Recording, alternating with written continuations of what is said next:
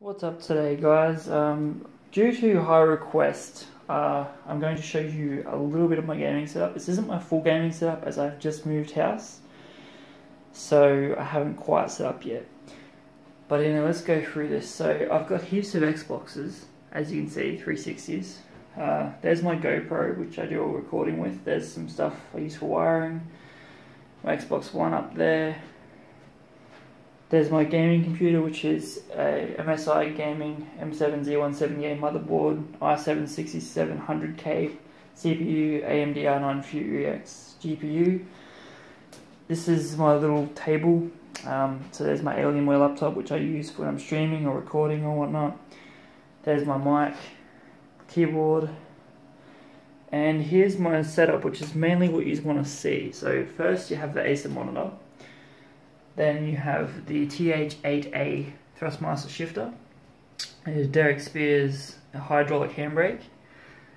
Thrustmaster, this is the Ferrari 458 Italia wheel, so TX base, but with the GTE wheel add-on. Then you've got my tacho, which is all, as you can see, wired up and works. And there's a chip down there somewhere, which you can't see at the moment.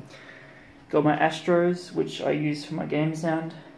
And there's my mic and then you've got the T3PA Pro inverted pedals.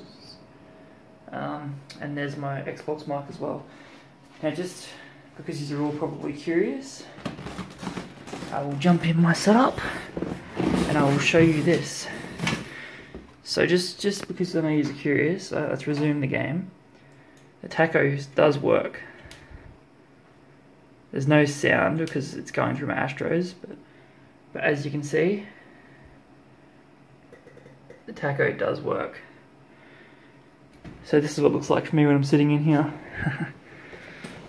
Alright, well I hope you guys enjoyed the video. If you did uh, and you want to see this set up in action, uh, like this video and subscribe. I do Forza Horizon 3 videos, Dirt Rally videos, you know, basically any decent racing game I play. So, I'm out guys, peace.